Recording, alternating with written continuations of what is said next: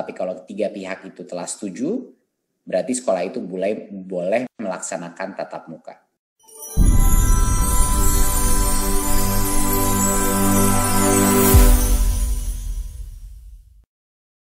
Izinkan saya menyampaikan paparan yang hari ini berfokus kepada pemberian kewenangan bagi pemerintah daerah dalam menyelenggarakan pembelajaran pada semester genap tahun ajaran dan tahun akademik 2020 ke 2021.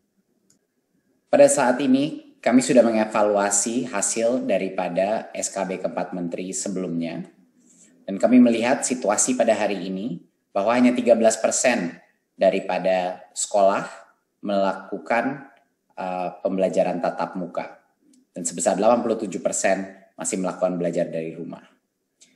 Tapi ini juga menunjukkan bahwa proses untuk persiapan uh, checklist, proses untuk persiapan protokol sekolah tatap muka itu membutuhkan waktu uh, dan membutuhkan uh, disiplin uh, yang tinggi. Kita harus menyadari bahwa setelah kita mengevaluasi hasil daripada pembelajaran jarak jauh ini bahwa dampak negatif yang terjadi pada anak itu suatu hal yang nyata dan bisa sekali kalau terus-menerus dilaksanakan bisa menjadi suatu resiko yang permanen. Resiko pertama adalah ancaman putus sekolah.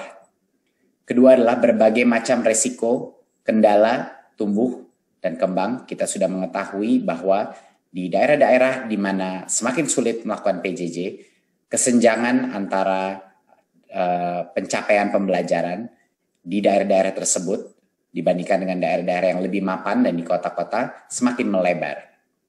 Dan tentunya resiko learning loss, resiko bahwa ada satu generasi di Indonesia, anak-anak kita yang hilang pembelajarannya dan harus mengejarnya dan mungkin sebagian akan ketinggalan dan tidak bisa mengejar kembali pada saat kembali sekolah. Jadinya ini adalah suatu urgensi yang sangat penting.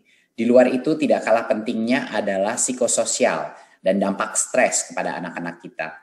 Minimnya interaksi anak-anak kita dengan guru, dengan teman-temannya, dengan lingkungan di luarnya yang menyebabkan tingkat stres di dalam rumah tangga baik orang tua maupun anak-anak meningkat secara drastis. Dan ini akan punya dampak permanen juga kepada psikososial anak-anak kita. Seperti yang kita tahu, tidak ada yang namanya pembelajaran tanpa uh, keamanan, perasaan keamanan dan harmoni psikologis dari anak-anak kita.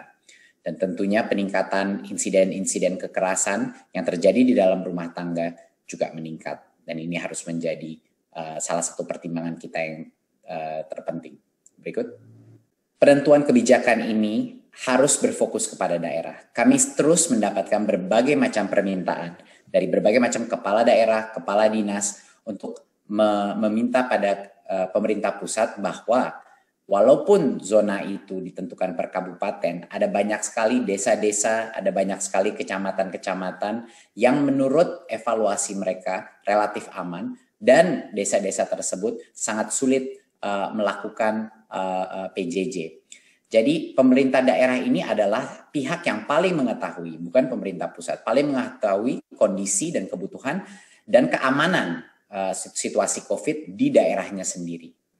Dua prinsip dasar dari kebijakan ini adalah harus dua-duanya, kesehatan, keselamatan, dan juga pertumbuhan dan perkembangan peserta didik menjadi konsiderasi kami uh, untuk melaksanakan kebijakan ini. Tidak bisa satu saja dari kedua uh, prinsip ini yang diprioritaskan.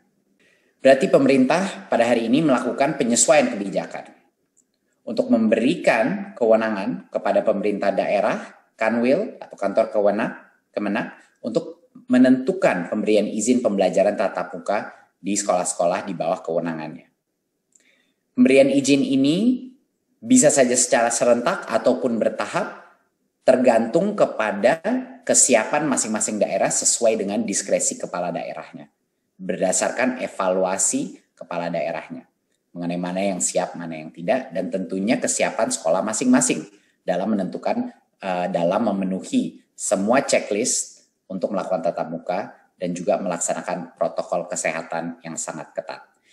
Kebijakan ini berlaku mulai semester genap tahun ajaran 2020-2021. Jadinya bulan Januari 2021. kalau siap untuk melakukan tatap muka, kalau ingin melakukan tatap muka harus segera meningkatkan kesiapannya. Apa prosesnya? Ya, mulai Januari 2021 ada tiga pihak yang akan menentukan apakah sekolah itu boleh dibuka apa tidak. Yang pertama adalah Pemda-nya sendiri. Ya, Pemda atau dalam situasi yang lain Kanwil atau kantor Kemenak. Ya. Yang kedua adalah kepala sekolah harus menyetujui dan yang ketiga adalah perwakilan orang tua, yaitu melalui komite sekolah. Jadi kalau tiga pihak ini tidak uh, mengizinkan sekolah itu buka, sekolah itu tidak diperkenankan untuk dibuka. Tapi kalau tiga pihak itu telah setuju, berarti sekolah itu boleh boleh melaksanakan tatap muka. Ya, jadi harus ada persetujuan orang tua melalui komite orang tua, persetujuan kepala sekolah, dan tentunya uh, kepala daerah. Kalaupun sekolahnya dibuka, ini harus saya tekankan lagi sekali lagi bahwa orang tua masih bisa tidak memperkenankan anaknya untuk datang ke sekolah untuk melakukan tatap muka. Ya, jadi hak terakhir dari siswa individu walaupun sekolahnya sudah mulai tatap muka masih ada di orang. Dan sekali lagi harus saya tekankan, pembelajaran tatap muka ini diperbolehkan, tidak diwajibkan. Diperbolehkan dan keputusan itu ada di Pemda, kepala sekolah, dan orang tua yaitu komite sekolah.